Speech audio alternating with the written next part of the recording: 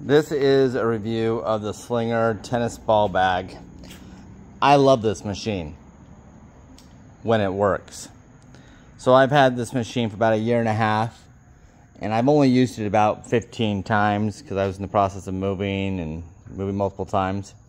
But um, after about a year and a half, the battery, which is located in here, is now dead and I had it in the garage and I had it next to my tools that all have batteries in them and they all those batteries still work. But this battery after 15 or after uh, like 15 months is now dead and no longer works.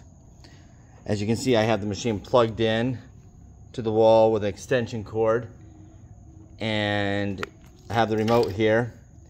And it wouldn't be so bad if I could have the power actually power on and power the machine because of the, the dead battery.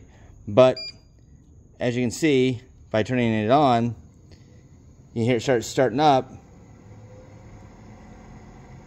and then it just dies down. So it will not run plugged into the wall, even though it has the battery inside of it. So it should just the power should just bypass the battery completely and just power on the machine and be able to use the machine. Here's the biggest problem with Slinger.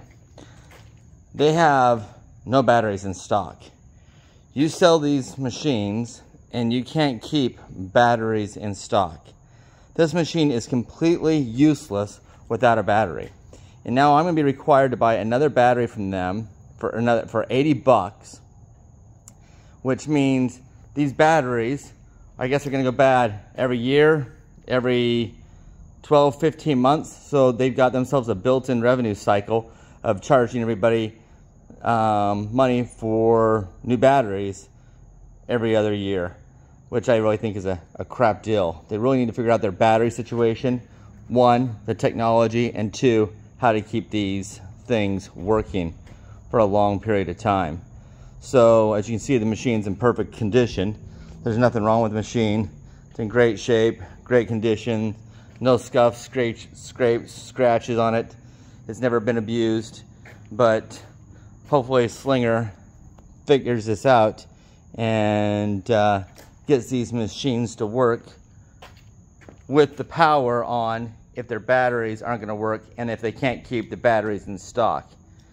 I don't want to hear any complaining about why we can't keep our batteries in stock. It's just poor management, poor planning, and poor supply um, chain, uh, and uh, uh, poor partnership on their part. They should have figured this out a long time ago and had partners in the rears to figure out how to keep these batteries in stock because now this machine gets to sit idle and I don't get my exercise and I don't get my workout.